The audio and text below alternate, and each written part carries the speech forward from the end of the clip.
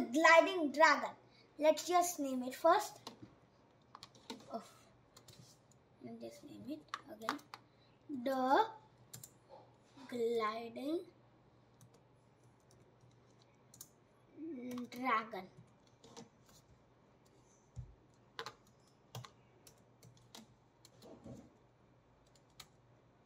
So we'll delete the cat costume and then go to choose a sprite. Now we'll choose a dragon. You can search this. Here you go, a dragon. So first let's go to costumes. You know what costumes are. And see this flip horizontal and flip vertical are right just right next to delete option. See? Let's take a more closer look. Okay. Now let's click on this option. You can see it changes. Now we're going to do with this also as well. See? There, it has got three costumes. One Dragon A, Dragon 2 and Dragon 3. You can rename these costumes, you know. Now let's decrease the size. Let's put it 80. Alright, 80 girl seems enough. Now we'll put it here and let's take a nice background. Okay. Let's see if it... Alright, just one minute. Alright. Yeah.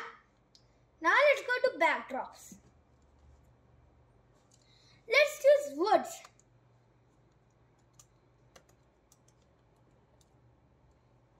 See this? The first option. Uh. I, I, I mistakenly put it, clicked the save option. Done. Why is that save option still there? But now it's okay. It was not there. I was just joking. Alright. The project gets uh, the project gets saved by itself. Alright. Now let's code. We'll go to events and click on the first option when green flag clicked. So this means when we click this green flag, it will it will run the code only when you click the green flag. Alright, now let's go to control. Let's go to control and take the forever block. block. So this uh, is a loop. What is a loop? A loop you uh, you can repeat with uh, a loop is called when you repeat a code multiple times. You can do any. So so, so I took this forever loop and forever means it will keep on going until you stop it. Forever. More than a hundred years. Until you stop it, it will keep working. Then we are going to go to motion and take. If on edge bounce, here we get. And this means if it's gone onto the edge, one, two, three, four, this and this, it will actually bounce like, like, um, let's see example. Like if this is the edge and this is the dragon, it will slowly move here. Then if it touches it, it will turn, go and go towards, and it will uh, actually be upside down. Then uh, then it will go here and it will be uh, again upside down like this and it will con it will be continuously but for that we need to move it right we'll go to okay now you have to tell me where you will find the glide one second to random position block in which Hmm. Motion, looks, sound, events, control, sensing, operator, variables, my blocks. Which obviously it can't be variables of my, my blocks. Alright? Can it be operators? We'll have to check it out. Right? Let's go to operators. Mm, plus, minus, what is that? Um, dash, this thing you can see on the keyboard. Alright, pick random, nope. Let's see. Join apple, banana. Alright, so it can't be here.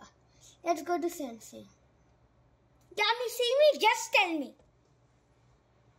Can you just see the, I mean, the block? Alright, let's go up to the motions. Oh, there it is! Here we get, it means it will glide to a, a random position. Random position mean anywhere. You can't control and it's different from set X and Y. The, these auction, but not that. Alright, now for the last one, we'll go to looks and go to next costume. In the previous video, I had told you about costumes, right? So, I think you know about costumes right now. So, now let's try and run the code. What do you think? It will work or not? I think it will work. Alright, it's bleeding fire. Woohoo! It's upside down. Now it changes into this. Look how perfectly it's gliding. I hope you can see it. Let's take a closer view. It can go anywhere. You see, I'm not putting, pushing any button. Let's take out a keyboard and let's. Alright. But I'm not pushing any button, right? Here on both hands. Alright. So, this game is, here. this is an example. In the future game, we'll learn more. Uh, we, we, in the future videos, we'll do more advanced levels of Scratch. And this game is also used in many games such as Escape from the Dragon and and uh, Dragon Attacking City. Okay.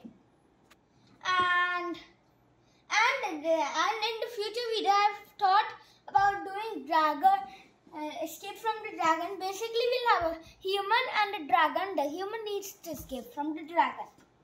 That's short. Now let's let me tell you about this, the otter. So it it has got for it it can swim about on 14 kilometers per hour. The heaviest is the sea otter and the longest is the giant otter. Thank you. And you can see this book. It's called Ranji's Wonderful Bat and Other Story. This is a collection of stories and the author's name is Ruskin Bond. See? The, it's about cricket, my favorite sport as well. And many other things. So that's the end of the video. I hope you enjoyed it. Please like and share with your friends and family. And if you want to see more of my videos, all you have to do is click on that red button with a subscribe word written on it. Until the next video, bye.